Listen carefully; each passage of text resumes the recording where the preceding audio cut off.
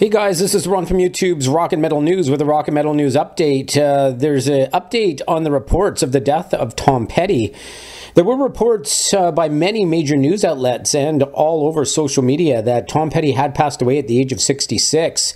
TMZ has. Uh, had reports that the chaplain went to see Tom Petty at 10:30 a.m. October the 2nd in his Los Angeles hospital room. Now a report states that the LAPD confirmed that he, that he had died is inaccurate. TMZ stated the singer is not expected to live through the day but he's still clinging to life. So you can stay tuned for updates and you can check out the uh, most recent reports from TMZ in the link in the description of the video.